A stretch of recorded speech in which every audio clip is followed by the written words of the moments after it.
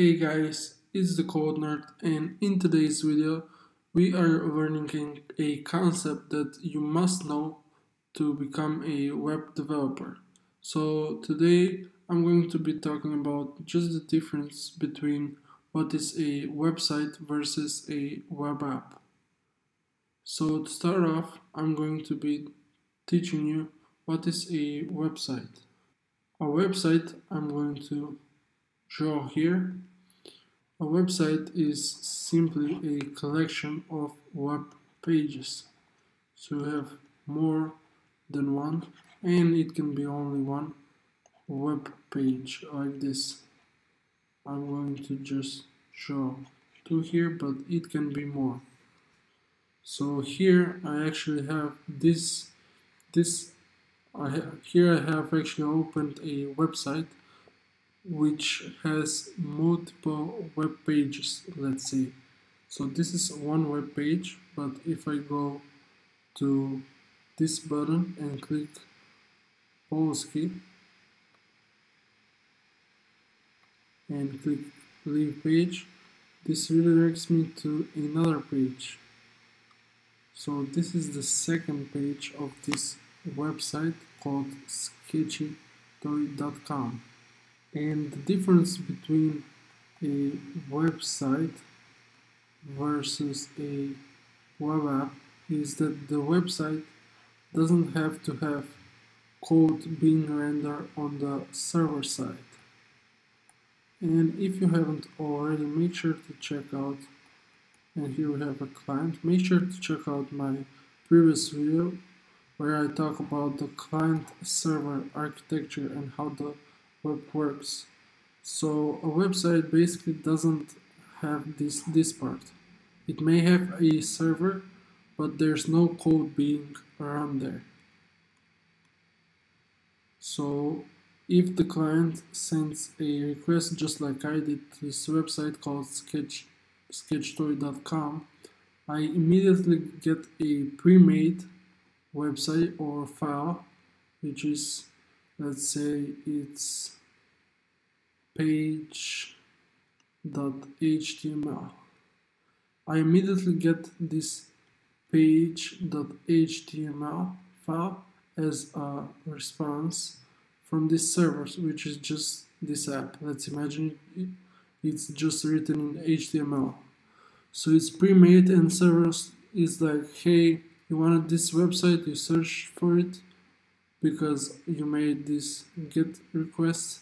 So here you are. I'm giving you this pre-made website. So there's no code being run on the server side. It just handles you whatever you requested. So let me go back to the English version because I'm not a Polish guy. And with a with a web app we have somewhat of a different thing. So I'm going to draw my client here, or let's say client, and then in parentheses add Safari, like this, because I'm using Safari. I just want to be more specific so you can understand me better.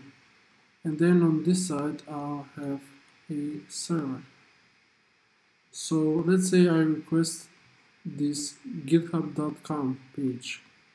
So I'll type in github.com and this is basically a get request. So I requested this github.com and let's imagine I was already logged in like this.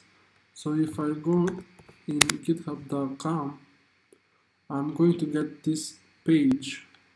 And if you log in and go to github.com later you're going to see different things here. You're not going to see my name here Victor. And then you're not going to see this repository because these are different for for you if you have any.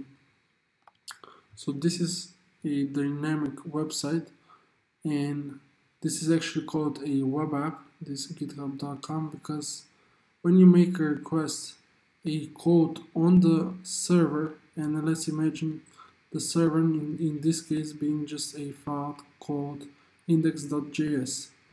At least in my app, that's what I call usually call my server server files.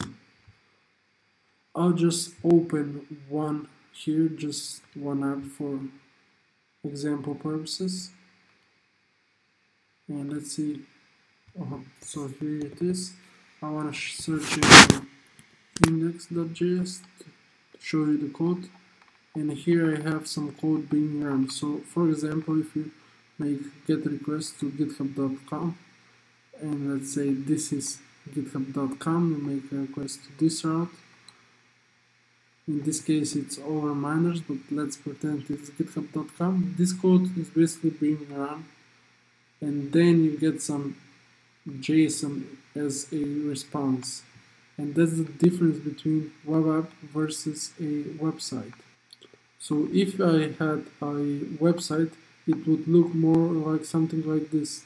You would just, when you request something through a GET request, you get back just a file, or in this case, it just sent text. So there is no logic being executed, it's just a simple file. But that's our website, and here we have a web app.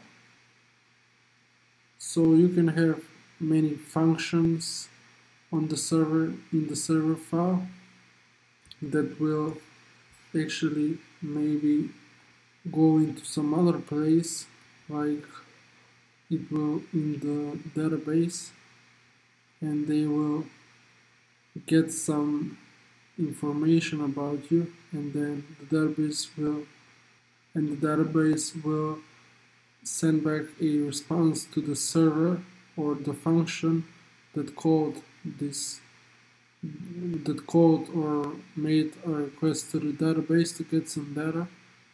And then the server with this data that it got from this response from the database it sends now a completely different or dynamic I should say response or a web page like this. So I got this Victor repositories because the server what it did it executed probably some function and I'll just change color some function and then the function made a request to the database and the database what it did it checked for some data for my data at my account Victor and then it got back with a response to the server with that Victor data and all my repositories. And then the server was ready to to give a response to the client and they, that's how I got this page so that's basically in a nutshell what's website versus a web app. So thank you all for watching. If you like this video make sure to click like because I'm trying to get more than zero likes on my video. Thank you for watching and peace out